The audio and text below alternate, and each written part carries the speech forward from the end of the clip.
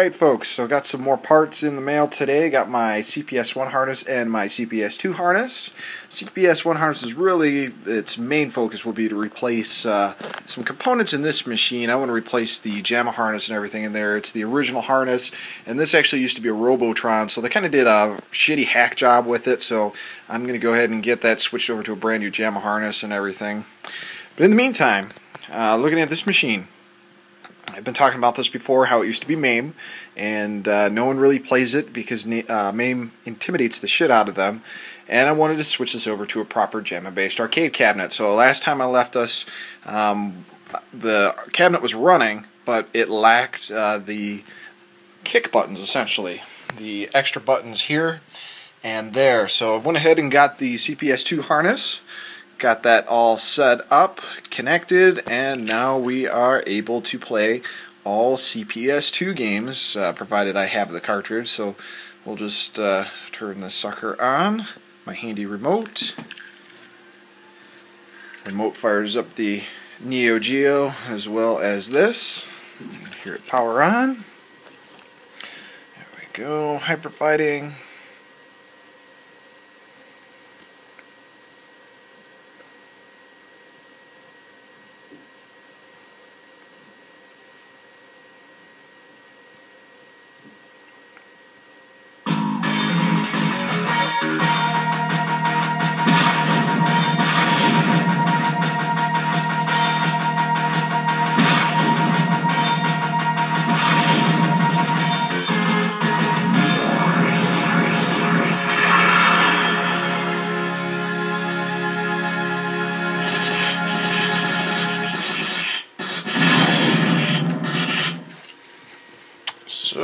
it says to insert coin, so basically we hit this button here. I can hit player one start. And we're good to go here, so just really quickly.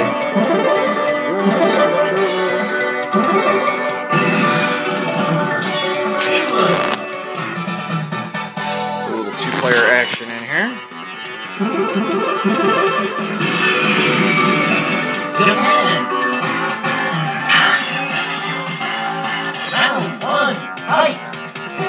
To show the kick buttons are working now.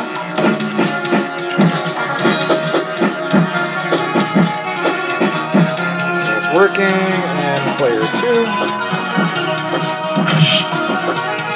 So yeah, this is uh, pretty much good to go. A little straightening up of the wire in the inside, a couple uh, tidying up, but otherwise this thing is ready to rock. So let's go back to the Monkeyland cabinet working on for some good development there.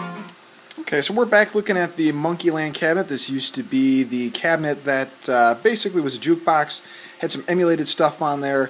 I pulled the PC board I had out of that and took the PC I had in my original main machine out and into this one. And I think where we left this last time was I, I had it up and running, but not too much after that. So now the controls are working. I have a four port, uh, four, geez, four port, wow four port uh, USB hub that'll basically let you connect up to four controllers. Got two more SNES controllers on the way to hook up to it, and of course there is the option to hook up uh, joysticks via the USB as well. So I got the Street Fighter Cross Tekken fight sticks as well as the Street Fighter 4 arcade stick that came out. So you do have options for that. And uh, like I said, I had some plans for this. So Right now, I'd say this thing is about 50% done, and you might be barely able to tell that uh, Ghouls and Ghosts is ready to run on this. So I'm going to pause the video really quick, grab the controller, and I'm to show you where we're at. Okay, so here we are looking at Maximus Arcade, and you can see I got Ghouls and Ghosts. So I'm to go ahead and start this up. Emulator's running.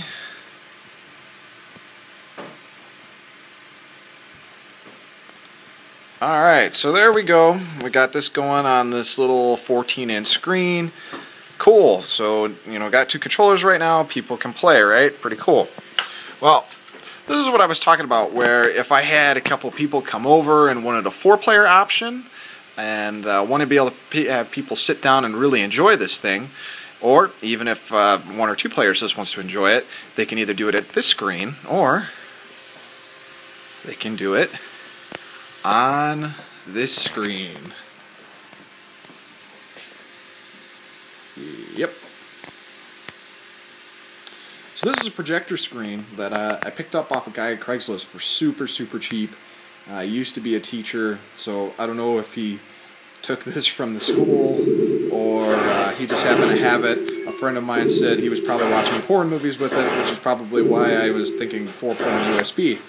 But uh, this goes up to 60 inches. This does widescreen and everything. It's really nice. And then uh, obviously the next step after that was finding a projector and uh, wasn't able to find a projector on Craigslist or anything. Well, there were a bunch of them, but they were all pretty crappy, didn't work well at all.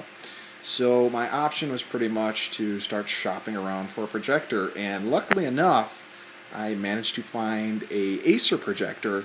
I believe it's a DLP projector for around 149 bucks, which is pretty awesome. Uh, it retails for about 250. I thought I saw on Amazon, so pretty lucky there. That came today as well. And uh, now I am able to project not only on this, but this, which is pretty awesome. And I mean, the picture is sharp. It just looks absolutely fabulous. So uh, I already tested a couple games on there Final Fight, obviously Ghouls and Ghosts, um, X-Men, the six-player version, which looks freaking awesome when you're playing uh, on the widescreen setting. I'm looking forward to playing uh, Ninja Warriors because that was another game that had a widescreen option. So very cool. But uh, yeah, th this is this is freaking huge. I mean, let's just walk up to this thing here.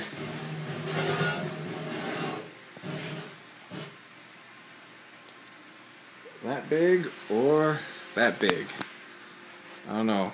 Pretty easy to decide. So once uh, I finish off the rest of this cabinet, I get the emulators and everything loaded up on it. I will uh, do another video, and actually I'll be doing a video on my proper HD camera. You know, I love the iPad, but it's always a little shaky, a little hard to hold. So we'll be doing a proper arcade tour video once this is completed, but uh, just wanted to show you guys the progress so far. So I'm going to play some Ghouls and Ghosts now.